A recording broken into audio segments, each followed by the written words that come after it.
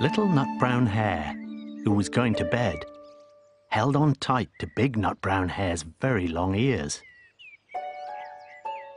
He wanted to be sure that Big Nut Brown Hare was listening. Guess how much I love you, he said. Oh, I don't think I could guess that, said Big Nut Brown Hare. This much, said Little Nut Brown Hare, stretching out his arms as wide as they could go.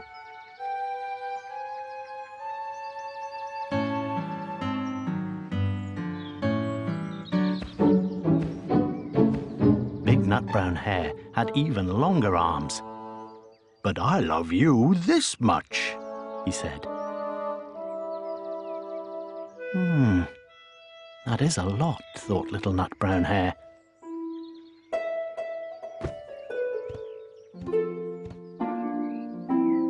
I love you as high as I can reach, said Little Nut Brown Hare.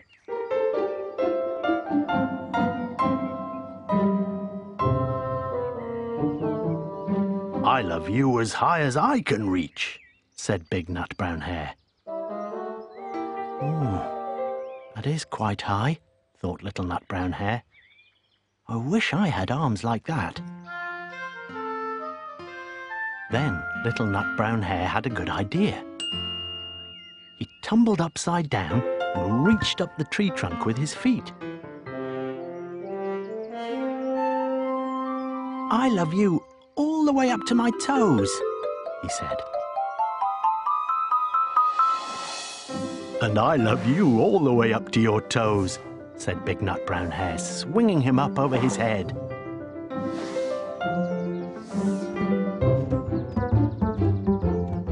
I love you as high as I can hop, laughed Little Nut Brown Hare, bouncing up and down.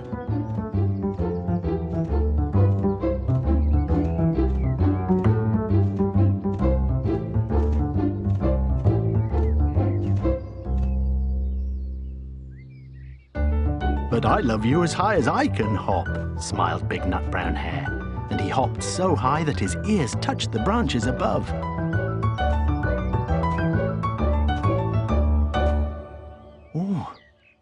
Good hopping, thought Little Nut Brown Hare. I wish I could hop like that. I love you all the way down the lane, as far as the river, cried Little Nut Brown Hare. I love you across the river and over the hills, said Big Nut Brown Hare. Oh, that's very far, thought Little Nut Brown Hare. He was almost too sleepy to think any more. Then he looked beyond the thorn bushes, out into the big dark night. Nothing could be further than the sky. I love you right up to the moon, he said, and closed his eyes. Oh, that's far, said Big Nut Brown Hare. That is very, very far.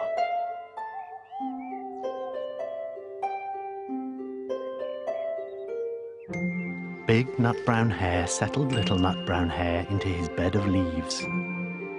He leaned over and kissed him good night.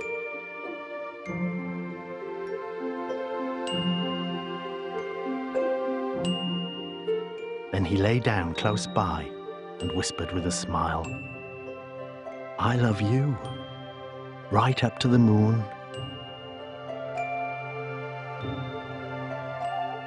And back.